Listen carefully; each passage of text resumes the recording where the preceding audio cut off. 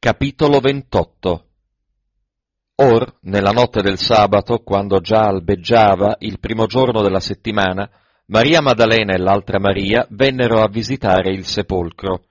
Ed ecco si fece un gran terremoto, perché un angelo del Signore sceso dal cielo s'accostò, rotolò la pietra e vi si sedette sopra. Il suo aspetto era come di folgore e la sua veste bianca come neve, e per lo spavento che nebbero le guardie tremarono e rimasero come morte. Ma l'angelo prese a dire alle donne, Voi non temete, perché io so che cercate Gesù che è stato crocifisso. Egli non è qui, poiché è risuscitato come aveva detto, venite a vedere il luogo dove giaceva, e andate presto a dire ai suoi discepoli, egli è risuscitato dai morti, ed ecco vi precede in Galilea, quivi lo vedrete. Ecco, ve l'ho detto, e quelle, andatesene prestamente dal sepolcro con spavento ed allegrezza grande, corsero ad annunziar la cosa ai suoi discepoli. Quando ecco Gesù si fece loro incontro dicendo Vi saluto, ed esse, accostatesi, gli strinsero i piedi e l'adorarono. Allora Gesù disse loro Non temete, andate ad annunziare ai miei fratelli che vadano in Galilea, lì mi vedranno.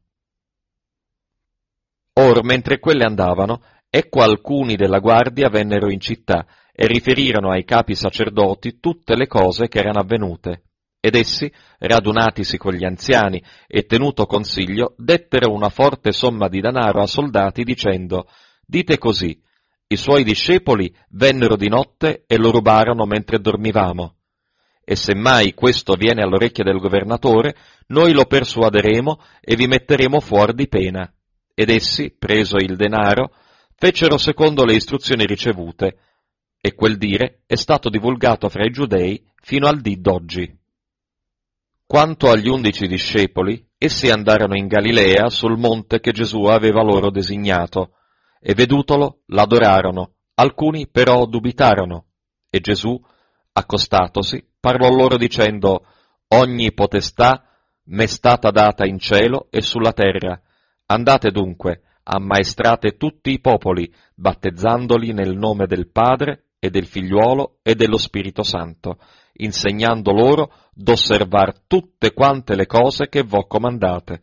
Ed ecco, io son con voi tutti i giorni, sino alla fine dell'età presente.